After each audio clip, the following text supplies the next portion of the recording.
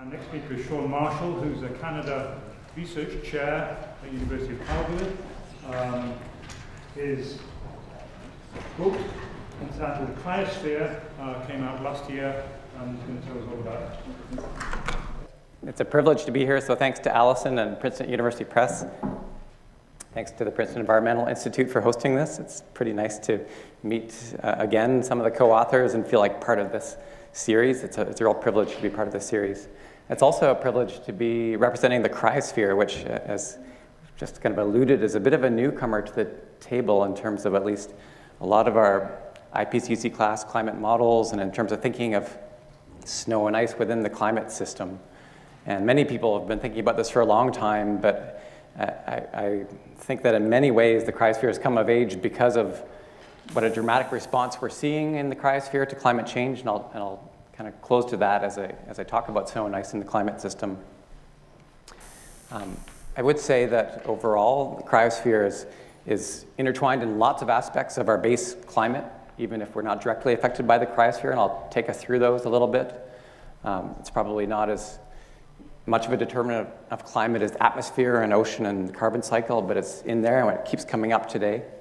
And even if it's not as much of a determinant of our, our base climate, I would say that uh, it's probably the most photogenic part of the climate system. So I, I also have lots and lots of slides that I'll go quickly through because it's a pretty dense, heavy day, and there's some, some nice pictures that we weren't able to include in the book because, of course, they're color photos and so on. Um, so I'll, I'll talk a little bit about the cryosphere in a, in a lighter way as well.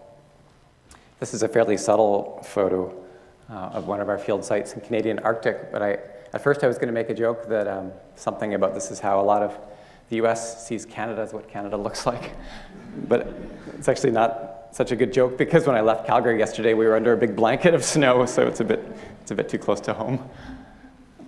Uh, the cryosphere, that's snow and ice in the climate system, and there's lots of different kinds and flavors of snow and ice in the climate system. Um, the reason it's of interest in that it's part of the climate system is that for um, lots of interesting reasons, water on our planet is, is really close to its triple point. We have the triple point of water at 0 degrees C, 0.01 degrees C. I haven't thought about that. It's 32.02 degrees Fahrenheit, I guess. Um, and it's the only common substance on the planet which lives at its triple point, where solid and liquid and vapor phases coexist. And about half the world's surface area at, at, at ground level experiences that temperature is zero degrees C at some point during the year. And the atmosphere, the whole planet experiences this at some level in the troposphere. And so we have ice, snow, vapor coexisting, and this leaves in, and transitions between these phases and movements within this um, actually really, really affect our climate in, in, ways that some, some of you may not have thought of before. Um, so that's one of the quirks of water. There are many interesting properties of water. Uh, another that we've touched on already indirectly, I think, is that it has an un unusually high heat capacity. And the latent heats of vaporization and fusion are really high for water. Not, as, not, they're not alone in this, but of common substances, again, they're just really unusually high and it's mostly related to small molecules with hydrogen bonds giving strong intermolecular uh, attractions such that it's hard to break apart those, those water molecules. You can almost think of water molecules as teenagers. It takes a lot of energy to motivate them or to kind of get them moving. And that's essentially the way water is in the system. And that affects the behavior and heat capacity and the, the thermal buffering of water in the system. Another interesting property is it's it's got this interesting density inversion at 4 degrees C that many of you will know about. Um, common materials, as you cool them, um, they become more dense. So warm air expands, cool air contracts. Water does this, liquid water up to a point, um, but beyond this 4 degree mark, as in between 4 degrees, and as you get into supercooled water droplets in the atmosphere, the density is, is actually dropping as it gets cold. That's very unusual behavior. It affects uh, lake ice in, in many environments at high latitudes because it affects the turnover point and the formation of, of lake ice in these systems. Leads to flushing and mixing that's kind of an unusual range. Um, it's a, something that's somewhat related to the solid phase structure of, of ice.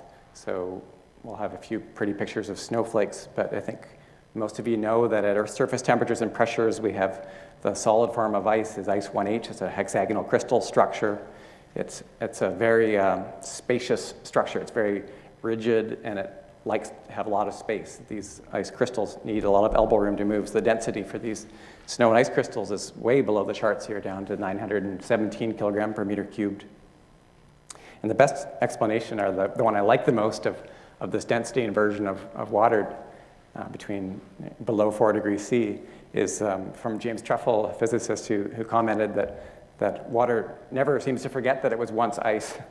Um, so as you get really, really cold water, super cold water droplets, they, they, they, they seem to, to start to spread out in somewhat of a form of those tetrahedral water structures that you get in that rigid ice crystal lattice. Another aspect of this, and a really huge quirk for the climate system, is that um, water floats in its own melt because it's such a low density. And not many materials do that. Again, bismuth, which interestingly, not coincidentally, we've already heard about, does. Germanium does. Diamonds do. None of these are really, really common. And, and living at that liquid phase at Earth surface pressures, maybe somewhere in the universe you can find uh, a sea of diamonds with starlight sparkling off of diamond bergs floating around in there. But um, here we're, we're left with, with water ice floating in its own melt. It means that when you freeze the, uh, the oceans or lakes, the ice floats on top rather than sinking to the bottom like a normal material would, and its solid phase should be more dense. If sea ice did that as you froze, you can imagine how different our oceans would be in terms of mixing ice and albedo of the planet.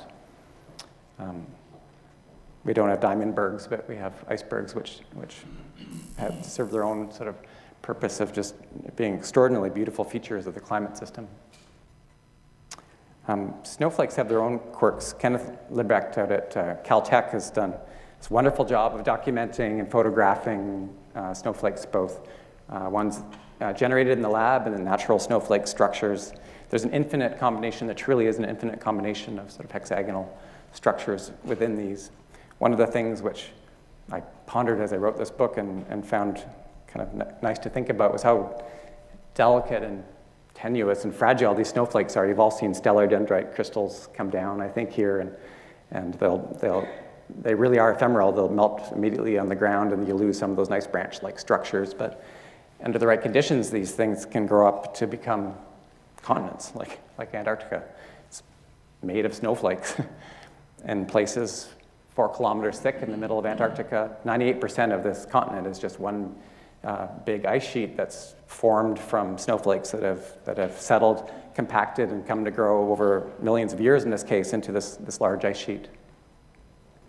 This is just at home in the Canadian Rockies, but same thing. This is ice, that's snowflakes that fell during the Little Ice Age that have compacted to give intense, beautiful blue ice that's melting out at the edges. Again, just snowflakes recrystallized into, into glacier ice.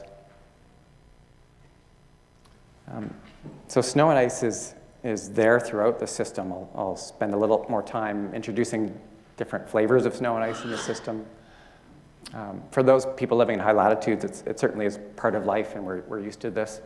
Um, this isn't normal in Canada, but this is a deep snowpack in Labrador uh, from a few years ago. Um, you're used to snow around here, although this is an adaptation we don't have in Canada. We don't usually have snow umbrellas. This is Central Park. Um, and everyone here has experienced snow at some levels, I think. Last winter, they, they uh, had an unusual amount of snow in southern Europe, and they were cross-country skiing in the Colosseum in Rome. Um, parts of the Adriatic froze up, so this, it's occasionally touches even, uh, even our subtropical latitudes here. It's beautiful when it comes can also create some havoc. So this is a freezing rain coated tree or a rime coated tree.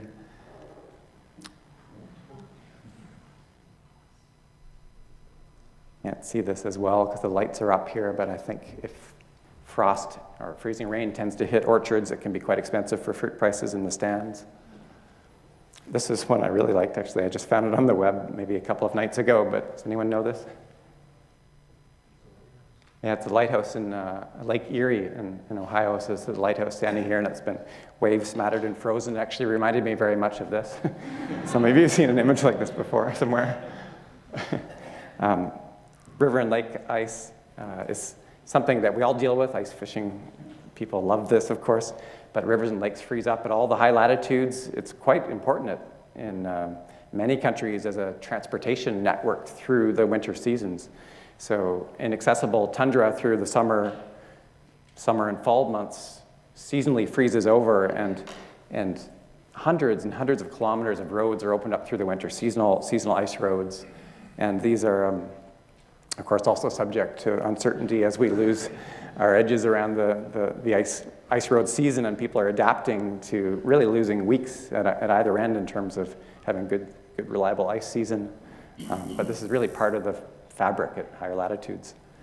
Um, we'll go to larger scales now. Sea ice is, is something that's been in the news a lot this fall because of Arctic sea ice reaching a record minima. I'll say a bit more about that. Um, but it's, again, a very dramatic and, and really large-scale feature of the planet in both polar regions. And this shows the scale to some extent here of a typical late summer Arctic ice pack.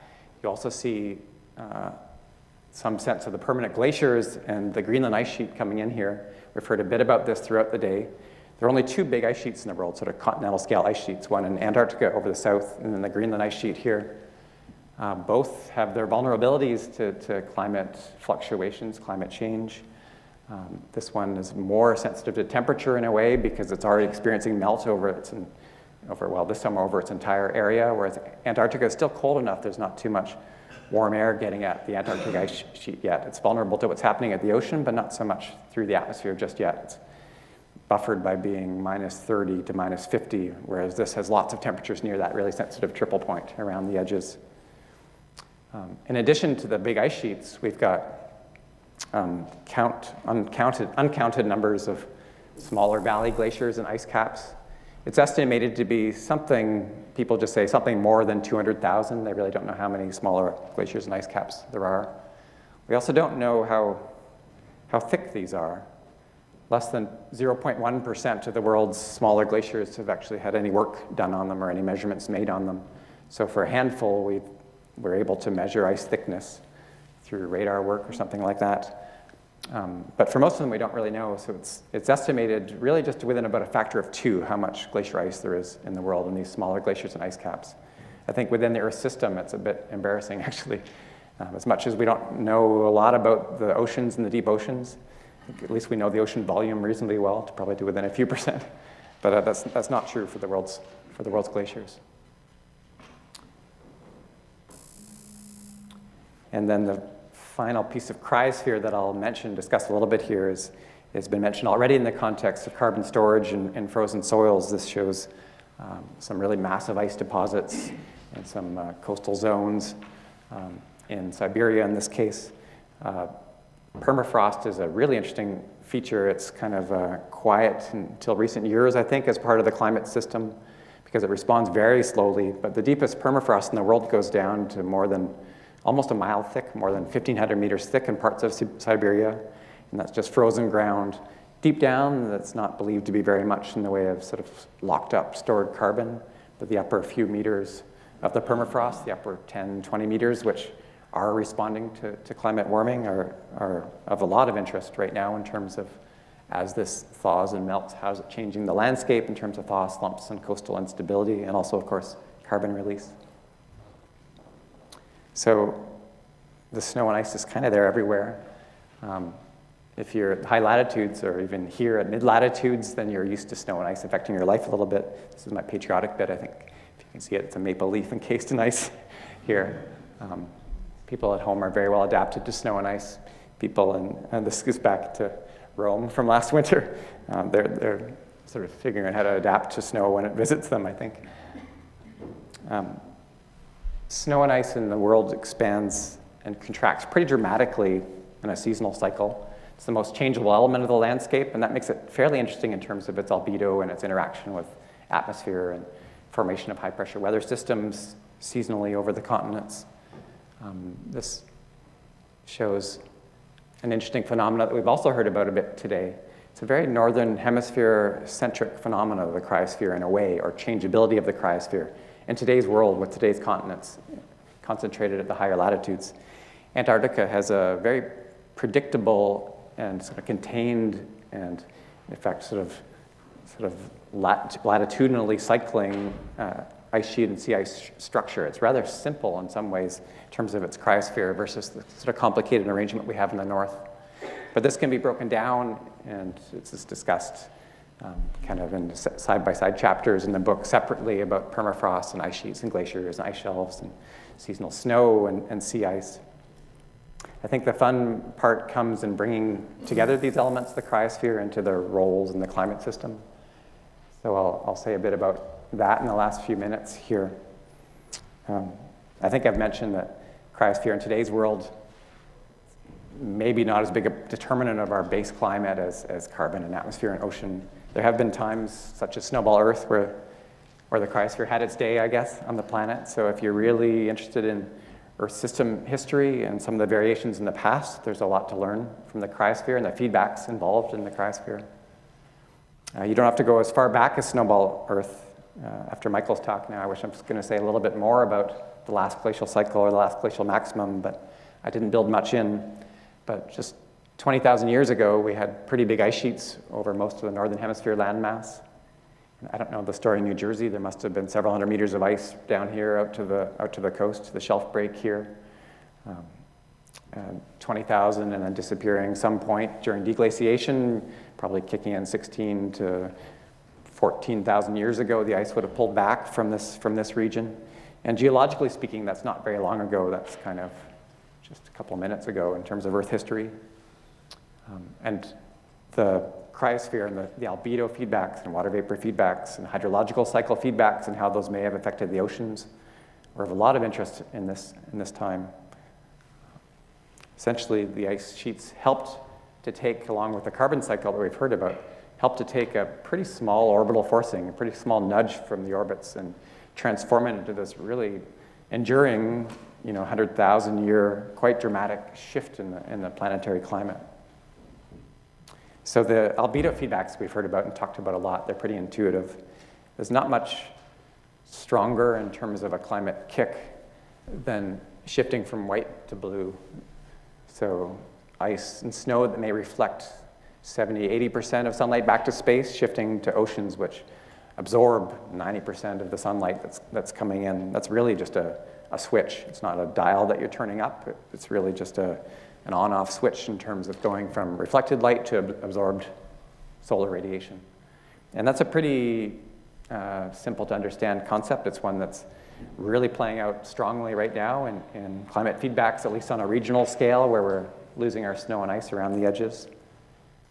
Um, this is maybe a little bit um, hard to work through. I won't explain every graph, but you can model in fairly simple models something in between the David's envelope and a full-blown climate model. You can explore the effects of having, um, say in this case, a glacial, a present day in an ice-free world in terms of zonally averaged albedo. So this is averaging albedo for lines of longitude all around the planet, plotting it from the South Pole to the North Pole. You can go through, th through these systems and have some fairly simple treatment of the planet and actually have clouds in here. And you can find roughly this range of temperatures for that conditions of the last glacial maximum, a world of about 9 degrees C as the global average temperature, to today's world, 14 degrees C, to an ice-free world of about 18 degrees C. And it actually saturates there, of course, once you've lost your snow and ice, then you, you can keep warming and that effect is, is gone. So the ice albedo effect is actually not linear. You can keep going with this towards your snowball state. And it, it of course, falls off a cliff at some stage, as, as Michael explained. Um, but so this is a hard upper limit. And as you go and start to bring snow and ice into the, into the mid latitudes and the lower latitudes where there's a lot of sunlight coming in, you really, really get a much, much stronger albedo feedback. The, the, the actual effect of the snow ice albedo feedback is a bit muted in today's world because most of the action is is at these higher latitudes where the sunlight's uh, uh, a little bit weak, it tends to be um, not as strong as if you can get some ice and snow into, into the lower latitudes where there's a lot stronger sunlight to go through one of those bifurcations, the white to blue. Um, for that reason, you do see really strong response of mountain glaciers everywhere in the world. This is not white to blue, but in many ways it's much the same. This is a typical glacier terminus in a, in a mountain range where the end of the summer melt season, this is almost like rock, dark, dark surfaces, because as you melt down the ice every year and the melting area at the, at the base of these glaciers, the debris just gets concentrated year after year after year. Snow and ice melt away, but that debris just sits, sits there on top unless it gets washed off through some surface streams. So you tend to accumulate quite dark surfaces, especially if you've had eruptions or forest fires or any other sources of anthropogenic uh, uh, carbon. Where we work in the Canadian Rockies, we actually see a lot of mining smelter uh, material coming into the, into the high mountains and, the, and to the glacial systems here, which is being concentrated in the glaciers. This is actually uh, an albedo of about 0.1. When we are doing albedo surveys and we walk off the glacier, sorry, the albedo actually goes up when we hit the limestone. it's actually brighter when we leave the glacier. Um, so that's, we could talk for a long time about snow ice albedo feedbacks. They're, they're fairly simple, but they're also too simply represented so far in our climate models, I think. For instance, you don't tend to have a a good representation of how surfaces get darker through the summer melt season. That was really important in this year's record melting in Greenland. Um, this doesn't get talked about as much. The cryosphere is the latent energy sink. This is, relates very much to what we heard about in terms of the oceans as a thermal buffer in terms of evaporation, but also as heat capacity. Without taking you through the tables and numbers, it's, um, we calculated at about 550 terawatts of energy that goes in um, to melting snow and ice through the year. This would be a terawatt year. it's the amount of energy that goes into the seasonal snow and ice melt and active layer melt in permafrost zones. It's roughly 20% of the solar radiation that's in, uh, incident in the high latitude, 60 to 90 north in, the, in their sun season. um, I have trouble thinking what a terawatt is. Uh, it's a huge number. Um, so I looked up in the BP annual reports of global energy consumption. So a big power plant is, you know, Three Gorges or, um, you know, a big nuclear plant. You're talking sort of gigawatt power. Um, global energy consumption in 2009, about 15 terawatts. So this is, a, you know, 36 times that. This is a lot of energy going into melting snow and ice. And this is built in. That's just, this isn't climate change. This is just the business as usual, seasonal melting in, in advance of the sea ice at, at, each pole and of the seasonal snow blanket and of the active layer and the permafrost zones and a bit of lake and river ice in there. And this is actually a, a, an energy sink. So energy that's in the system is going into melting this rather than to warming things up. And this is almost a service that, that snow and ice are providing to us, kind of like the oceans acting as a buffer and soaking up some CO2 and heat for us as we lose the cryosphere, we're going to lose this buffer a little bit. And so instead of a lot of energy, whether it's uh, re-radiated long-wave energy or whether it's solar energy, a lot of energy that goes in melting snow and ice, um, now once that snow and ice is gone and that ice-free world goes into warming things up further. So it's, it's not a big number compared to the evaporative energy, that, um, but it's a big number for polar regions. And I won't go through all these in detail just for time, but there are ways that Antarctica has very much shaped its own climate through its uh, surface topographic input, uh, impact. Uh, so orographic forcing of something like the Laurentide ice sheet or the Antarctic ice sheet or the ice sheet in Greenland really modifies and changes the, the essential climate. And there's more subtle effects associated with surface roughnesses and heat capacities. Um, carbon storage and permafrost, we've mentioned.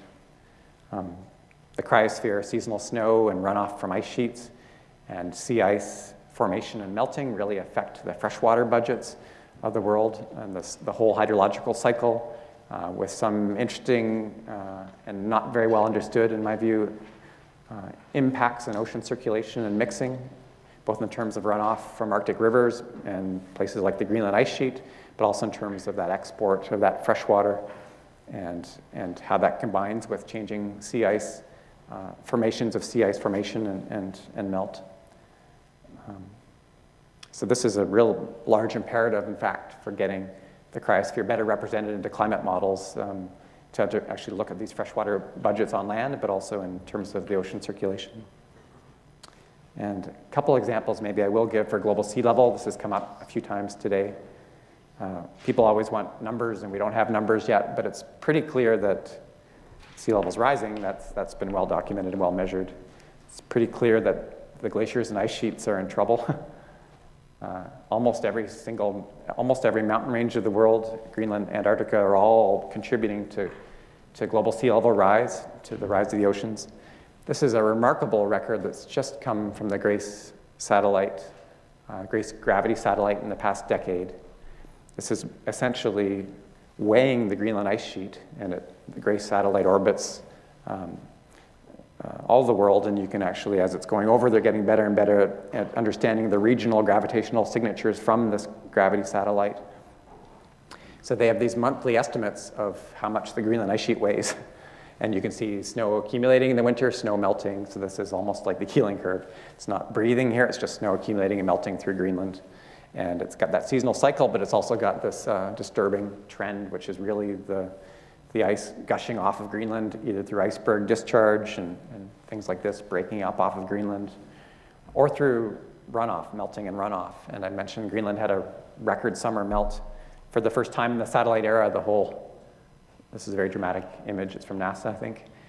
The whole ice sheet turned red, which um, is indicating areas of the ice sheet that experience some melting. So for the past 35 years while we've had satellites measuring the melt area of the ice sheet. This is a fairly typical look of the last few years where, where you've got uh, lots of melting in South Greenland and around the edges, but in the middle where we do our ice coring, uh, there's not usually any melt in the summer seasons. Um, there's pretty intensive melt over the whole ice sheet this summer. Has happened in the past. You can see hints of melt every 100 to 200 years in the ice core records, but we've never really witnessed a year like this, and it's part of an ongoing trend where you can bet that this is not going to be a 150 year cycle any, anymore going forward. We don't know how quickly the Greenland can melt away. We saw an estimate earlier today of a few, few centuries. I think glaciologists are still a bit conservative on that, and they would like a, a thousand years or more to do it. But those same glaciological models can't actually replicate this. They, they can't actually replicate what's happening to the ice sheet right now because of things like icebergs breaking off and melting at the ice ocean interface. And so we're pretty sure that in a world that's two, three, four, five degrees warmer, Greenland uh, doesn't want to be there. The Green, Greenland ice sheet will melt away, and there's enough feedbacks involved that you can be pretty confident in that as the surface drops. Gets warmer, it gets darker, it's going to it's to feed back, and it, and it will chase itself away. Um, it's hard to say how quickly this can happen. It's hard to say whether it's 50 centimeters or one meter of sea level rise this century or going forward, whether Greenland can hang in there 500 years or 5,000 years, and the, the, models are still struggling to, to get the, the fast flow physics and the ice-ocean interactions in there to actually look at that. Um, but it's pretty clear and it's evident in the last interglacial period when things are a bit warmer that, that this level of warming that we're pretty well committed to is, is going to make it hard for Greenland to, to be healthy. Um, and that begs the question that I'll finish on, which is kind of the wither, the world's cryosphere. Where is our snow and ice going? The ice sheets will stick in here for a while, but, but mountain glaciers definitely are retreating up slope, disappearing a bit from the landscape. We've lost uh, uh, the number, something like 5,000 glaciers already in the last 30 years have just kind of gone. um, the glacier mass balance is, this is from some composite of, of the global network of mountain glaciers that are measured and, and monitored. And this is a measure of thinning rates over those glaciers. And you see through this period that it's, it's, it's almost always a red bar with recent, the last decade being roughly, uh, this is millimeters of thinning, so, so something like 70 centimeters 700 millimeters of, of, thinning on average over these glaciers. So this is an accelerating and a, and a negative trend for these systems. It's hard to find uh, a large region where the, the glaciers aren't thinning and retreating. This is the case for the sea ice from this um, past um, summer that we heard about. We've seen that this record minima was already on its way and it was already clear that this was happening in August and it continued, but it's part of a longer term trend, kind of like the Greenland melting area that we've um, seen late summer Arctic sea ice extent declining at a pretty, pretty strong rate, so 10% per decade. And if, if you ignore any curvature and, and, and just take that at face value, then you can tell that that's not going to survive the century, the Arctic summer sea ice. Um, And most people don't expect it to survive through to 2050 in terms of August, September Arctic sea ice. This is the, it's kind of near the minimum, the final extent that this reached. So this year, 2012, Arctic ice extent really sort of set a pretty emphatic new record for the minimum sea ice extent. It was under 4 million square kilometers, and it uh, solidly sort of went under the 2007 minimum extent. This is the, the mean conditions from 1979 to 2000, plus or minus two standard deviations. So if you, if you want to think of it that way, we're like four or five standard deviations below normal. It's, it's a new normal for the, for the Arctic sea ice. So it's a different world for the Arctic sea ice. And this isn't talked about too much. It needs to be talked about more, I think, but to me it's a, as dramatic an effect and a, and a climatic influence as the sea ice changes. This is Northern Hemisphere snow cover anomaly, where you see just the same thing. Of course, 2012 set a new record, which I didn't hear much. This, a lot of this work is done out of Rutgers, in fact. Um, and this is, um, again, very compelling. It looks like Greenland. It looks like the sea ice. So I think this is um, everyone uh, has talked about the, the, the idea that your sort of whatever you work on is, is the most important thing and the most strongest canary in the coal mine with respect to climate change. And so I won't use that term. But I think the fact that snow and ice is so close to its point of, of, of viability to that zero degree mark for large parts of the planet, maybe Antarctica accepted, where it's still so cold. Um, it, it is really, really susceptible to something like a one degree warming that we've already undergone. So in terms of the world's climate systems, the, the cryosphere is, is incredibly sensitive to, to smaller temperature changes, half degree, one degree, two degree. It's feeding back on the system. It's having regional feedbacks which compound that. Um, but it's a very simple system in a way to look for and monitor and detect change and to understand a little bit about what's happening in some of these regions. So I finish, I'll finish with that. I think a lot of people in the cryosphere community are a bit worried about job security, but I think these, uh, I think in many ways um, they're kind of watching to see what will happen with these ice sheets. And as long as you go far enough to the polar regions, Greenland, Antarctica, this ice is going to kick in there for a while. But I think, um, I think we've started a process already, losing a lot of ice out of West Antarctica and losing a lot of ice out of Greenland that uh, I think it's really important to better understand how those systems are changing and feeding back within the climate. So it's, it's really nice to be able to chat with colleagues here and think about what we can learn from the past on that and what we can learn from some of the interactions in the whole system. Thanks.